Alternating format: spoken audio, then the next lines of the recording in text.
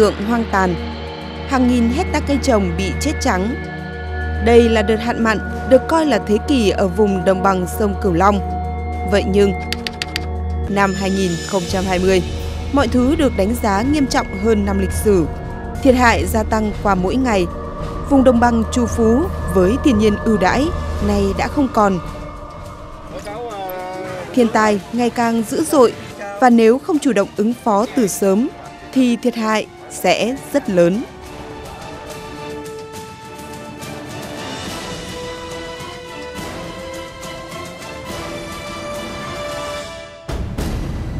Cách cửa biển gần 100 km, nhưng Cần Thơ vẫn bị nước mặn tràn tới sớm hơn một tháng so với trận thiên tai lịch sử 4 năm trước.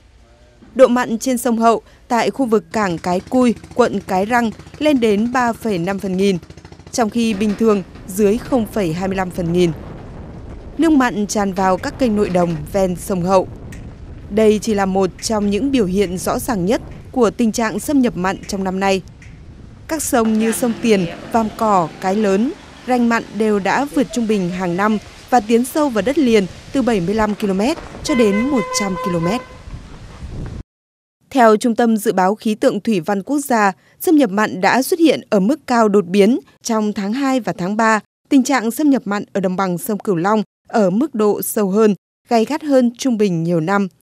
Trong một số thời điểm, xâm nhập mặn ở đây có thể ở mức tương đương hoặc cao hơn cùng kỳ năm 2016. Trong trường hợp cực đoan, thời gian thiếu mưa kéo dài kết hợp với việc sử dụng và khai thác tài nguyên nước trong lưu vực, tăng sử dụng nước trên các dòng nhánh và trữ nước tại các đập Trung Quốc sẽ làm cho tình trạng hạn hán, thiếu nước, xâm nhập mặn trở nên trầm trọng hơn mùa khô năm 2015-2016. À, theo cái số liệu của chúng tôi ấy, thì hiện nay thì là tại nhiều điểm đã vượt cái số liệu độ mặn thì đã vượt cái năm 2016. Thì điều cho nó thấy một điều rằng là những năm nay là cái số cái cái tình hình xâm nhập mặn này là căng thẳng hơn rất là nhiều so năm 2016 và nhiều khả năng là những cái số liệu này là những cái số liệu đã là nhiều điểm đã là lịch sử của cái xâm nhập mặn. Năm nay chúng tôi đang dự báo là hạn mặn có thể ờ, đến đầu tháng 5 ờ, thậm chí là có một số chỗ đến đầu tháng 5 mới có thể kết thúc. Như vậy là sớm hơn, vào sâu hơn và cái thời gian khô hạn và mặn nó sẽ dài hơn và có rất nhiều nghiên cứu đã chỉ ra là đây là cái đỉnh điểm trong 100 năm tức là trong lịch sử thì đây cũng là cái lần đầu tiên mà chúng ta bị một cái hạn mặn lớn như thế Dòng chảy trên sông Mekong về đồng bằng sông Cửu Long trong tháng 2 và tháng 3 thiếu hụt so với trung bình nhiều năm và năm 2016 khoảng từ 5 đến 20%. Mực nước tại biển Hồ Campuchia ở mức thấp, khả năng bổ sung nước cho đồng bằng sông Cửu Long không nhiều. Do cái tổng lượng dòng chảy từ thượng nguồn sông Mekong về đồng bằng sông Cửu Long là ở uh, mức uh, thấp hơn trung bình năm và năm 2015-16 khoảng 5 đến 15%. Uh, ờ, kết hợp với chiều cường do đó là cái tình hình xâm nhập mặn nó là ở mức tương đương hoặc là có những thời điểm đó là cao hơn năm 2015-16. Theo Viện Khoa học Thủy lợi miền Nam, nguồn nước mùa khô năm 2019-2020 về vùng đồng bằng sông Cửu Long thấp hơn nhiều so với trung bình nhiều năm và những năm gần đây. Lưu lượng bình quân tháng 2 năm 2020 thấp hơn so với trung bình nhiều năm và năm 2016. Tình hình à, hạn hán và xâm nhập mặn à, mùa khô 2019-2020 tại đồng bằng sông Long thì diễn ra cũng rất là nghiêm trọng. Cái lượng mưa toàn bộ trên lưu vực ờ, khu đồng bằng sông Long thì đã là giảm rất là mạnh và cái nguồn nước nguồn nước hiện nay cũng đang suy giảm.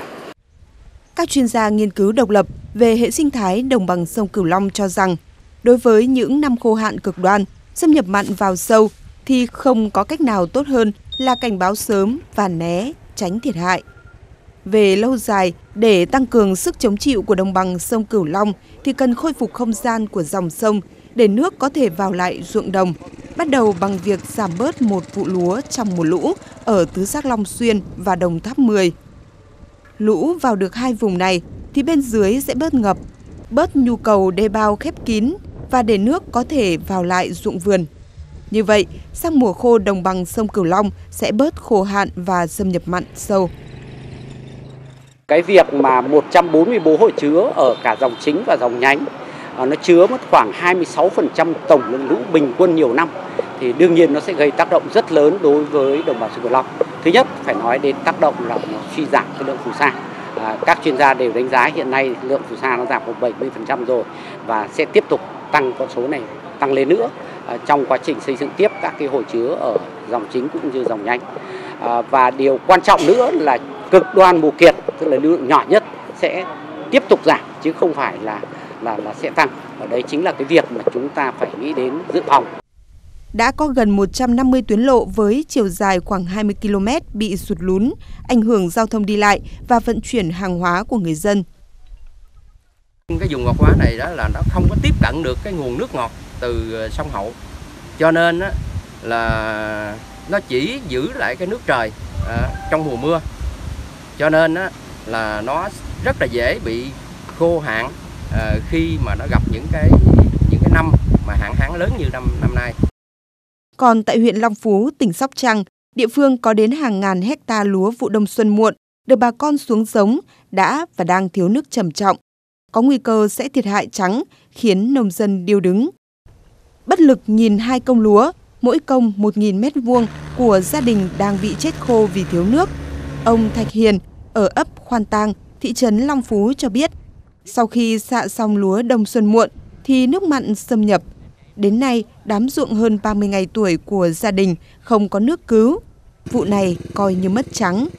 Mặc dù chính quyền địa phương và ngành nông nghiệp đã nhiều lần cảnh báo, nhưng rất nhiều người nông dân đã quyết định xuống giống. Sản xuất hồi vụ 2 thì được ăn mà mình tính mình dân mình làm ruộng thì mình nhờ cái vụ 3 này nè. Rồi bắt đầu là xả rồi nước mặn vô đâu có bơm được. Thì thành ra nó khô cạn hết trơn rồi.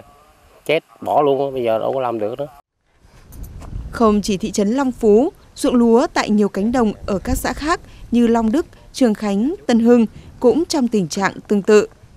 Do tình hình xâm nhập mặn đến sớm hơn năm ngoái khoảng một tháng, độ mặn cao và kéo dài đã khiến nhiều nông dân điêu đứng.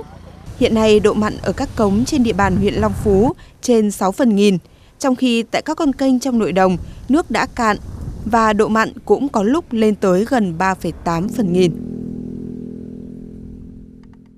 Thì à, tình hình à, hạn hán à, xâm nhập mặn năm nay á, thì đến sớm hơn mỗi năm là năm rồi khoảng một tháng đó, sớm hơn một tháng.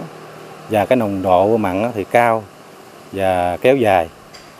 Đó, thì và thậm chí thì một số cái nơi á, giống như cống Bà Sẩm có những lúc nó lên trên 11 phần ngàn là cái độ mặn này nó cao chưa từng thấy ờ, từ trước đến nay. Mặc dù nông dân trên địa bàn huyện Long Phú đang chịu cảnh mất trắng, thế nhưng nông dân tại các xã như Lâm Tân, Lâm Kiết của huyện Thạnh Trị vẫn bất chấp những khuyến cáo của ngành chức năng và tiếp tục xuống giống. Trong khi đó, các dòng kênh đã bắt đầu cạn nước. Nguy cơ biểu hiện của một vụ mùa trắng là không tránh khỏi. Chúng tôi một mặt là tăng cường lấy nước, khi mà hãy có nước ngọt là tăng cường tích nước. Cũng giống như ờ, mà mà chuyên gia hôm rồi họ vừa báo cáo là là tích nước bậc thang thì hiện nay chúng tôi là tăng cường tích nước để giữ ngọt cho cái vụ đông xuân. Cái thứ hai nữa là cái vùng này thì những cái vùng phía cuối nguồn nước á, thì chúng tôi khuyên là không xuống giống không xuống giống đông xuân muộn tức là tích cực phải xuống giống đầu vụ cho sớm để né mặn và cái dùng hở thì hiện nay là chúng tôi bố trí là thời vụ là cũng sớm hơn hàng năm Mùa khô năm 2019-2020, xâm nhập mặn nội đồng tỉnh Trà Vinh sớm khiến hàng nghìn hộ dân đang đứng trước nguy cơ trắng tay do lúa bị thiệt hại vì thiếu nước tưới. Tại huyện Trà Cú, nông dân đang lao đao do nhiều diện tích lúa không thể cứu được, đành cắt cho bò ăn. Ruộng lúa 1,7 hecta của gia đình bà Phan Thị Lan, xã Tân Hiệp, những năm trước, vụ lúa trúng nhất, năng suất luôn đạt từ 6 đến 7 tấn trên một hecta. Nhưng vụ đông xuân này, xâm nhập mặn sớm và sâu vào nội đồng khiến gia đình trở tay không kịp. Năm nay tôi à, xuống giống được 17 công mà ờ, mà bị hạn mặn này tác cứu không được cũng khoảng 10 công rồi còn 7 công đang có ờ, đang có bơm nước lên cứu vớt coi được đỡ chút nào không gia đình ông Thạch Thuốc, xã Long Hiệp cũng đồng cảnh ngộ. Vụ đông xuân năm nay, 3 hecta lúa của gia đình đã bị thiệt hại đến 80% diện tích. Ông Thạch Thuốc cho biết, ông đã đầu tư 18 triệu đồng tiền phân, thuốc để cứu lúa, nhưng chỉ cứu được khoảng 20% diện tích. Năm nay là bị thiệt hại nhiều quá, vụ này ai cũng vậy, không phải nên nếu mà thấy có một số thấy còn xanh xanh nhiều không biết được hay không nữa, tại vì thời, thời gian nó còn còn lâu lắm. Vụ lúa đông xuân năm 2019-2020, tỉnh Trà Vinh xuống giống hơn 60.000 ha, đạt trên 88% so với kế hoạch. Hiện có khoảng 5.160 ha lúa của gần 7.000 hộ dân trên địa bàn tỉnh bị thiệt hại do mặn xâm nhập nội đồng. Trong đó 3.236 ha bị thiệt hại trên 30% diện tích, đang đứng trước nguy cơ mất trắng hoàn toàn do không cứu được. Hiện ngành nông nghiệp phối hợp với các địa phương thực hiện nhiều giải pháp hỗ trợ nông dân giảm thiểu thiệt hại do hạn mặn. Tính đến nay, đã có gần 320.000 hecta lúa đông xuân và gần 136.000 hecta cây ăn quả bị ảnh hưởng. Khoảng 82.000 hộ dân bị thiếu nước sinh hoạt và con số này sẽ còn tiếp tục gia tăng trong thời gian tới vì dự báo hạn mặn còn kéo dài đến tháng 6. Hiện nay thì các địa phương đang tích cực tích trữ nước ở trong các kênh mương nội đồng, các giải pháp bơm tưới, bơm phụ trợ và các cái giải pháp để tích nước ờ, ở trên các kênh để chuẩn bị cho này thì khả năng nếu như mà mùa mưa đến như là cái dự báo của chúng ta vào khoảng cuối tháng 3, cuối giữa nửa cuối tháng 4, đầu tháng 5 thì diện tích này cũng có thể vượt qua. Nếu như do tình hình uh, gọi là cực đoan của thời tiết mà mùa mưa đến muộn hơn thì chúng ta vẫn còn khoảng sắp xỉ 100 ngàn ta. Chúng ta phải rất nhiều các cái giải pháp kèm theo nữa thì nó có thể à, đảm bảo đảm được một phần năng suất mà chúng ta cũng có thể thiệt hại.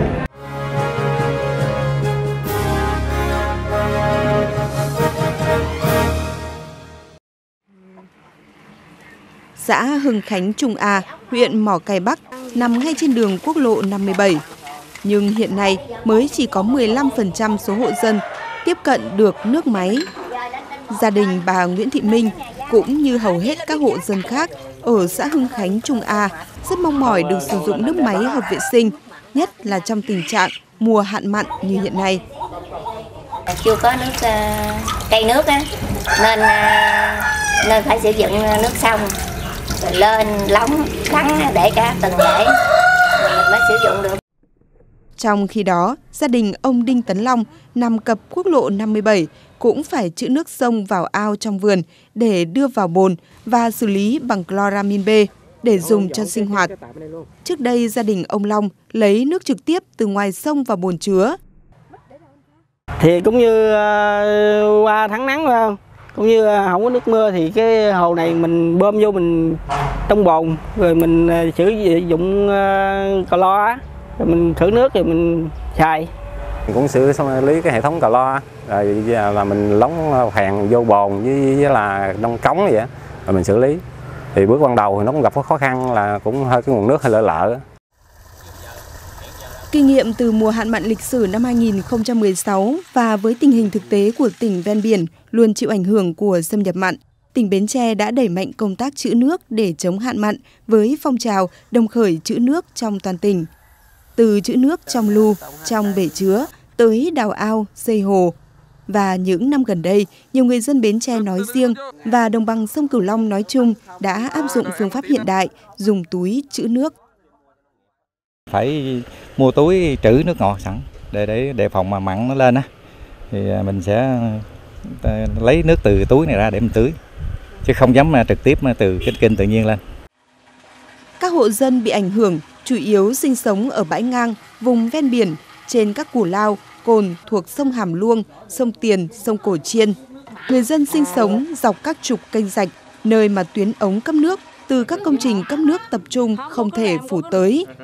Theo ngành y tế Bến Tre, nếu người dân sử dụng nước mặn lâu dài sẽ ảnh hưởng đến sức khỏe, mắc một số bệnh về đường tiêu hóa, viêm gan và bệnh ngoài da. Khi mà sử dụng ấy thì bà con phải sử dụng ờ, các cái biện pháp xử lý đơn giản tại gia đình như là làm trong nước.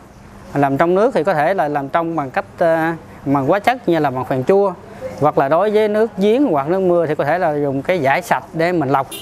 À, sau đó thì khử khuẩn à, khử khuẩn có thể khử khuẩn bằng ờ, hóa chất như là ramin B. Thì cái hàm lượng cái sử dụng cái hóa chất thì theo cái khuyến cáo của nhà sản xuất hay là đun sôi để giảm thiểu tác hại của nước nhiễm mặn đến người dân ngành y tế cũng tăng cường truyền thông giáo dục sức khỏe đến người dân về tác hại của nước nhiễm mặn, tăng cường giám sát chất lượng nước tại các nhà máy nước tập trung, kiểm tra an toàn vệ sinh thực phẩm, đặc biệt những cơ sở sản xuất nước đá, nước đóng chai. Để hạn chế thiệt hại do hạn hán xâm nhập mặn sẽ tiếp tục gây ra trong mùa khô năm 2019-2020, Ban chỉ đạo Trung ương về phòng chống thiên tai đề nghị các tỉnh thuộc khu vực đồng bằng sông Cửu Long theo dõi sát tình hình, cập nhật hàng ngày diễn biến thời tiết, nguồn nước ở thượng nguồn sông Mekong, tổ chức vận hành hợp lý công trình thủy lợi để tranh thủ lấy nước khi độ mặn ở mức cho phép, tăng cường tích trữ nước vào nội đồng, khẩn trương đóng cống ngăn mặn xâm nhập khi độ mặn lên cao. Đặc biệt tại các cống thuộc hệ thống thủy lợi Bảo Định, Tiền Giang, Nam Mang Thít, Trà Vinh, Vĩnh Long – với hệ thống thủy lợi Quản Lộ, Phụng Hiệp cần có sự phối hợp, vận hành, bảo đảm đáp ứng nhu cầu khác nhau về nước ngọt và mặn của các địa phương. Sau cái đợt cao điểm 2016 thì đã có rất nhiều cái kinh nghiệm, có bài học và cũng rất chủ động. Chính vì cái sự chủ động của người dân nên là cũng không không chủ quan nữa thì mới, mới tham gia tốt hơn với cái chỉ đạo của chính quyền. Nên chính vì thế chúng ta giảm thiểu được thiệt hại rất là lớn.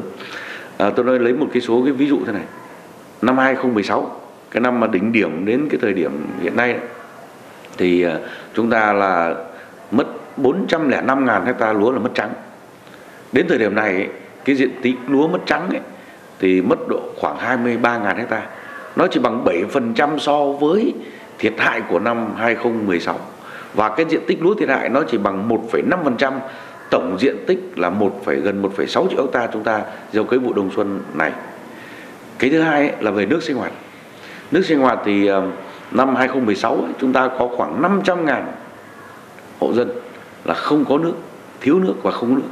Và lúc ấy thì cái 280 ngàn hộ là không có nước sinh hoạt.